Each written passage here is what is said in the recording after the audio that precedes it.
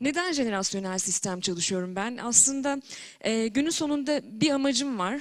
E, yaklaşık 14 yıldır bu alanda çalışıyorum. Oraya ne kadar yaklaştım bilmiyorum ama bir amacım var o da şu. Acaba günün sonunda şunu söyleyebilir miyiz? Seni kendime ait yargılarla değil, sana ait gerçeklerle görüyorum. Çünkü biz bizim gibi olmayanları, bizim mahalleden, bizim köyden, bizim kuşaktan, bizim sistemden olmayanları ötekileştirme yolunda çok e, dinamik bir kültürüz ne acı ki. Dolayısıyla bu çalışmaları yapmamdaki temel vizyonum acaba değiştirmeye çalışmadan birbirimizi dönüşebilmek mümkün mü? Jenerasyonel sistem bize bunu, bunu söylüyor. Öte yandan bu harfler içerisinde bir tanesi var ki geçtiğimiz yaz öyle popüler oldu ki herkes ondan konuşmaya başladı. E, takdir edersiniz ki hangisi o? Y kuşağı. Evet hepimiz bu Y kuşağından bahseder olduk. Ee, y kuşağından çok kısaca bahsedecek olursak benim temelde en derin e, çalıştığım son yıllarda en yoğun odaklandığım jenerasyon olduğunu söyleyebilirim. Ve kuşağın e, çok belirgin özellikleri var veya zaman zaman çözmekte zorlandığımız e, kodları da var. Ve fakat e, zannedersem ilk başta açıklamamız gereken şey şu ki şu yılda doğduğun için sen kesinlikle bu kuşaksın demek abesle iştigal. E, naçizane son e, e, hayatının önemli bir kısmını jenerasyon çalışmalarına vermiş bir olarak geldiğim en temel nokta bu. Sen şu kuşakta doğdun demek, sen kesinlikle e, bu yılda doğdun, bu kuşaksın demek değil. Ama bu bir segmentasyon aracı ve bir jenerasyonu anlamak demek, bir dönemi anlamak demek. Ve bize dönem çalışmalarıyla ilgili müthiş bir ışık yakan, geçmişi anlama, ve geleceği öngörme aracı. Dolayısıyla bana soracak olursanız benim temelde çalışma alanım organizasyonel sistemler. Yani ben şirketlerle çalışıyorum. Öte yandan hayatında hiçbir zaman organizasyonel, kurumsal bir sisteme entegre olma veya o sistemde bulunma e, olasılığı bile olmayan herhangi bir bireyin hayatının bir döneminde mutlaka jenerasyonel sistemin kodlarına bakması gerektiğini düşünüyorum ve bunu çok önemsiyorum. En basitinden ebeveyn olarak, bu ülkenin bireyleri olarak, bu dünyanın vatandaşları olarak büyük bir sorumluluk alanı olduğunu düşünüyorum bunun. Başlarken e, gene de o dönemi anlamak itibariyle kısaca şunu söylesek, 1980'den sonra doğan arkadaşlarımızın Türkiye Cumhuriyeti'nde Y kuşağını temsil edebileceğini söylesek, üzerine çok da böyle altını kalın kalın çizgilerle çizmeden sanırım anlamlı bir parça olacaktır. 76 milyon 600 binlik bir ülkeyiz. Ee, Türkiye Büyük Millet Meclisi'nde 550 değil 548 milletvekilimiz var. Türkiye Büyük Millet Meclisi'nin yaş ortalaması 55. Türkiye Cumhuriyeti'nin yaş ortalaması 30. Dolayısıyla jenerasyonel sistemde özellikle gençler yani Y jenerasyonu benim çok derin bir e, odak alanımı oluşturuyor. Diyelim ki 1980'den sonra doğan gençler 1999'a kadar dünyaya geldikleri bu dönemde biz onlara Y jenerasyonu diyelim. Çok önemli değil ismi Y, A, B, C çok önemli değil ama Türkiye'nin gençlerinden bahsedelim. Minicik bir fikrinizi almak istiyorum.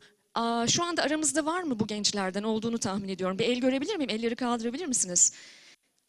Evet, iyi ki varsınız. İyi ki varsınız. Sizinle gurur duyuyorum. Öte yandan el kaldırmayan bazıları da var ki bizim bir ölçümümüz var. Mindset envanteri diyoruz o ölçüme. Bir mindset envanterine soksak bu odadaki katılımcılarımızı belki yüzde ellimizden fazla kafaca da Y kuşağı çıkabiliriz. O yüzden bunu saklı tutalım. Bir fizik bedenimiz var, fizik yaşımız.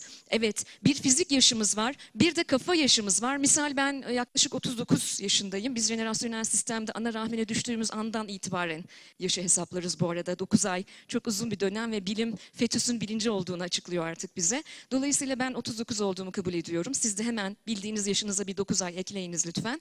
Dolayısıyla e, böyle bir dönemde bile aslında başka bir jenerasyondan kafanız çıkabilir. Yani araştırmalarda da ölçümlerde de bu çıkabilir. Neyse şimdi size şunu sormak istiyorum. Türkiye'nin gençleri hakkında ne düşünüyorsunuz? Aklınıza geleni söyleyin. Şöyle bir 30 saniye serbest atış yapalım.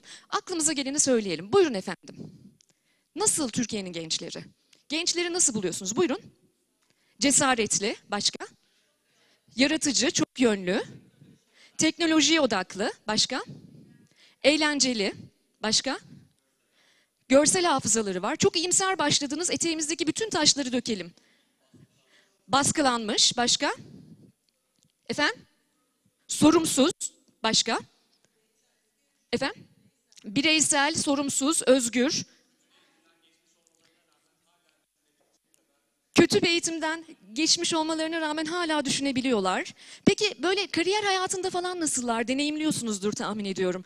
E, iş yaşantısına bakışları veya ne, ne hırslı, e, iş bulabilirse hırslı, güvenilmez duydum bir tane.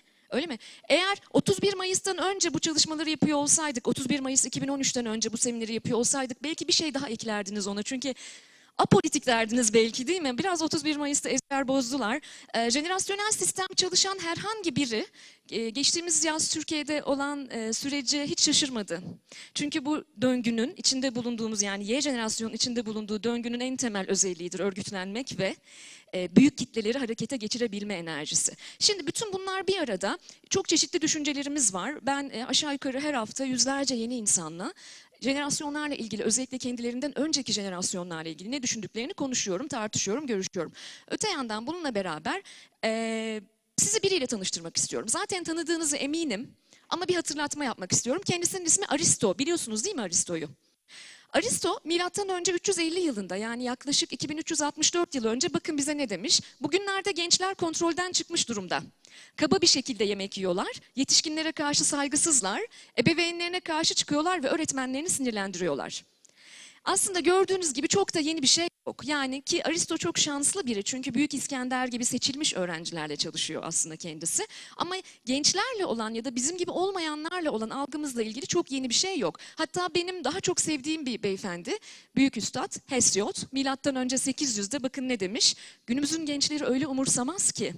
İleride ülke yönetimini ele alacaklarını düşündükçe umutsuzluğa kapılıyorum. Bizlere büyüklere karşı saygılı olmayı, ağırbaşlı davranmayı öğretmişlerdi. Şimdiki gençler kurallara boş veriyorlar, çok duyarsızlar ve beklemesini bilmiyorlar. Yani hemen müdür olmak istiyorlar. Hemen yönetici olmak istiyorlar ve derhal dün olsun istiyorlar. Gördüğünüz gibi yeni bir şey yok. Bugün sanırım söyleyebileceğim en önemli, en e, işin özü olan cümle şu olacaktır. Jenerasyonel sistem teorisi 1970'li yıllardan beri e, batılı dünyada çalışılan ama köklerini 13. yüzyıl e, Orta Doğu'sundan alan İbni Haldun isimli çok kıymetli bir İslam filozofunun derinlemesine geliştirdiği fakat batıda modellenmiş kıymetli bir teori. Teori bize der ki sakin ol. Bir kuşağı gördüğün zaman aman Allah ben hiç böyle değildim yandık gidiyoruz bir yere nereye gittiğimiz belli değil deme. Çünkü hiçbirimiz ilk kez dünyaya gelmedik. Jenerasyonel sistem teorisi yaşamın bize bir düzlem içerisinde değil, sirküler bir hareket içerisinde olduğunu anlatan çok kıymetli bir teori ve 80 ila 100 yılda bir bu döngünün sosyolojik olarak tekrarlandığını ve birbirine benzer paternlerin 20'şer yıllık döngülerde yeniden gelme olasılığı olduğunu işaret eden bir teori.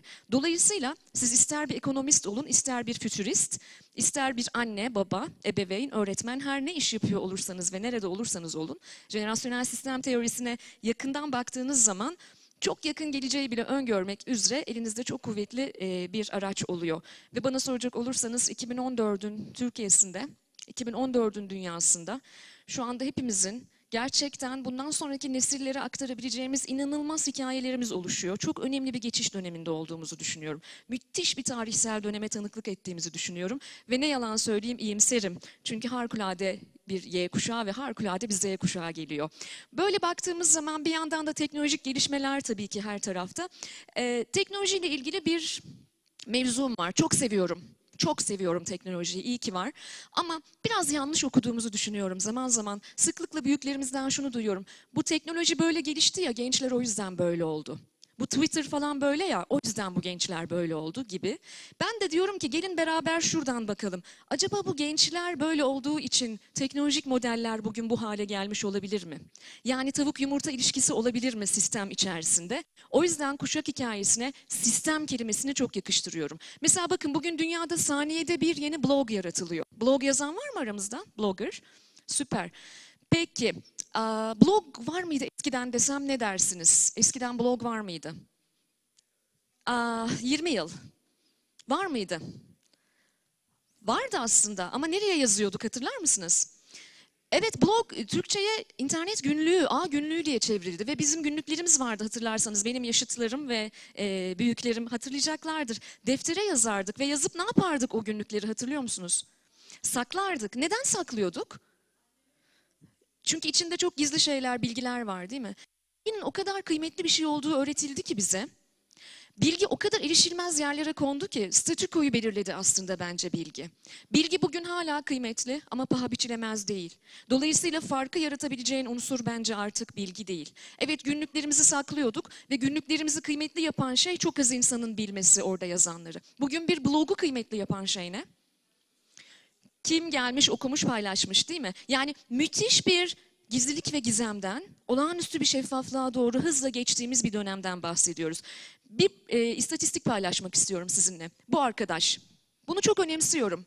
Önemsemek ve sevmek aynı şey değil. Sevmeyebiliriz, beğenmeyebiliriz, eleştirebiliriz ama önemsememiz gerektiğini düşünüyorum. 1.23 milyar kullanıcı. 1.23. Nasıl buldunuz rakamı? Güzel mi? Etkileyici değil mi?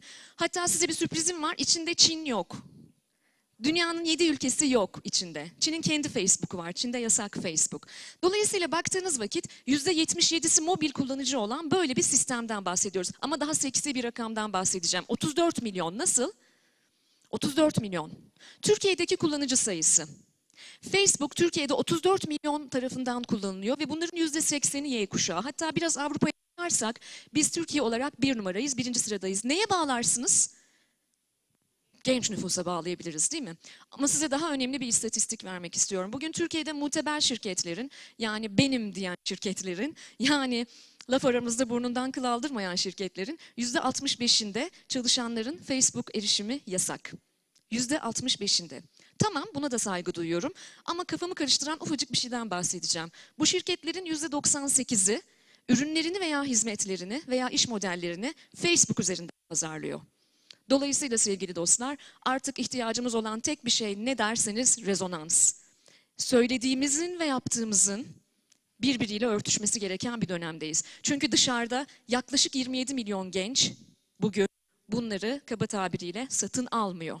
Yutmuyorlar yani bunları. O yüzden daha samimi, daha gerçekçi olmamız gereken bir dönemdeyiz. Bir başka arkadaştan bahsedeyim size. Twitter, trafik kazaları ve çocuk gelinlerden sonra bir konuda daha bir dünya rekoru kırdık biz geçtiğimiz dönemlerde. Yaklaşık 2-3 ay önce. Bu da Twitter. Şu an dünya birincisiyiz Twitter. Twitter e, kullanıcılarına baktığınız zaman 11 milyon 337 bin 505 Türk kullanıcısı var ve dünya birincisiyiz penetrasyonda. %31.1 penetrasyonla Japonya'nın önüne geçtik yaklaşık 3-4 ay kadar önce. Tahmin edersiniz ne zaman ne ara geçtiğimizi zaten ama bunlar gerçekten çok önemli istatistikler.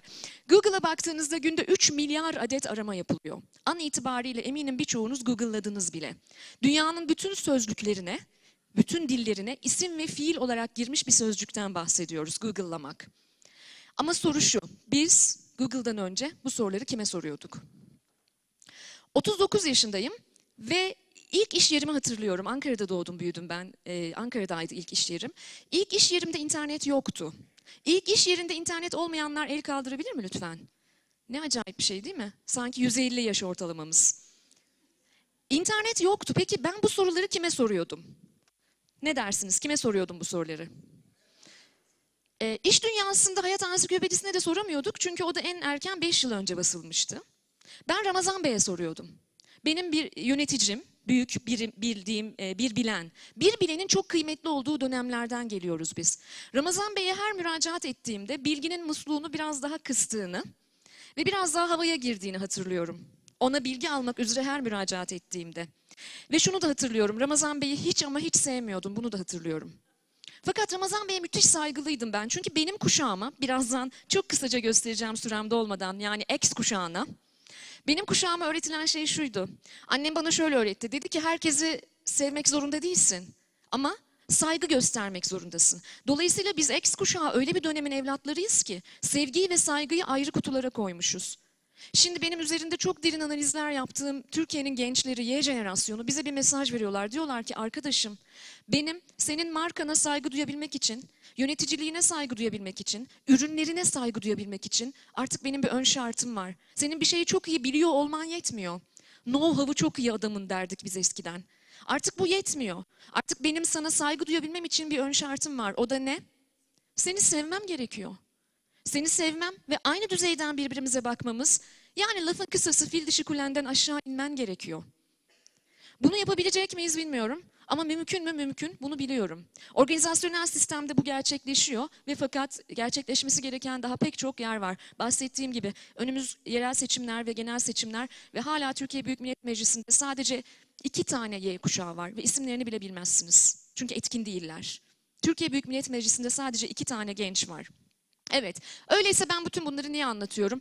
Büyük insan, büyük üstad nur içinde yatsın, üzerine ışıklar yağsın. Albert Einstein der ki deliliğin tanımı sürekli aynı şeyleri yapıp farklı sonuçlar beklemektir. Yapıyor muyuz derseniz, evet e, 160'ın üzerinde organizasyonla çalışıyorum Türkiye'de ve bölge ülkelerde. Bunu yapmayan tek bir müşterim yok.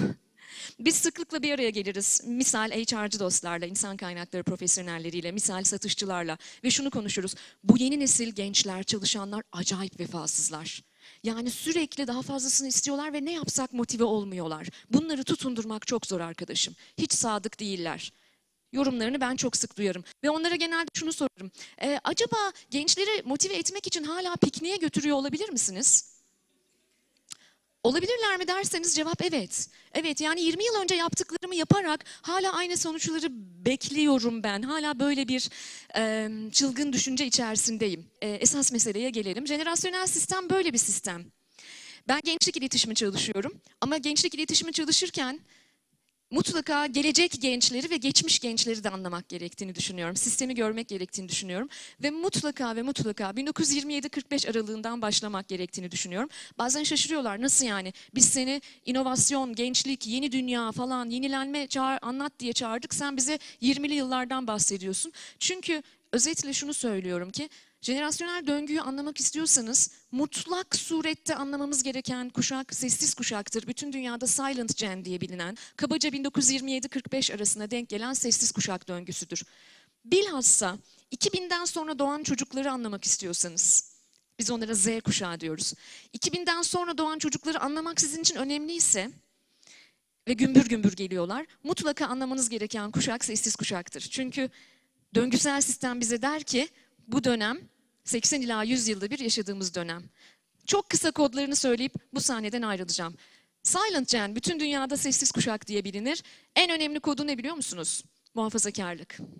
Dünyamız sessiz kuşak döngüsüne her girdiğinde binlerce yıllık araştırmaların, çok kıymetli çalışmaların bize gösterdiği bir şey var. Konservatizm yükselen değer olur. Ve dünyamız sessiz kuşak döngüsünden her çıkmaya yaklaştığında, şu arada gördüğünüz beyaz çizgilere ekiprosis deriz biz. Buradan her çıkmaya yaklaştığında ise konservatizmin patinaj yaptığını ve yerini çok sesliliğe, ideolojiye, farklı düşüncelere bıraktığını görürüz. Ki bu da burada baby boomer dönemiyle adlandırılan dönem. Baby boomer dönemi e, kuşak arketiplerinde biz ona baby boomer demiyoruz popüler sistemlerde daha rahat anlaşılsın diye kullanıyoruz. Gördüğünüz gibi bir e, ideoloji dönemi ve bu ideoloji döneminden sonra da X kuşağı yani kuvvetli bireysel dönem gelir. Siyaset, toplumsallık, değerler önemini kaybeder. Kazanmak, daha çok elde etmek, daha büyüğüne erişmek önem kazanır. Ve işte bugün hakkında çok konuştuğumuz Y kuşağı, komünite, birlikte olma, örgütlenme, ve kılcal damara denk geldiği zaman büyük toplumsal hareketlere sebebiyet verme, bütün dünyada çok büyük tarih boyunca devrimcilerin doğduğu, çıktığı, gerçekten e, anti, antipati değil, sempati duymamız, anlamamız gereken çok kıymetli bir kuşak. Son sözüm şu ki, bana diyor ki şirketler, Gel bize Y kuşağını anlat. Ben de diyorum ki arkadaşım 1997 doğumlular önümüzdeki ilk genel seçimlerde oy kullanacaklar. O yüzden isterseniz biz Y kuşağını anlayalım tamam da bir Z'ye hazırlanalım. Gümbür gümbür gelen bir Z kuşağı var çünkü şu anda. Bir Çin atasözü der ki bir kuşağın diktiği ağacın gölgesinde diğer kuşaklar serinler. Sizlerin de böyle ağaçları olsun temenni ediyorum. Keyifli bir gün diliyorum. Hoşçakalın.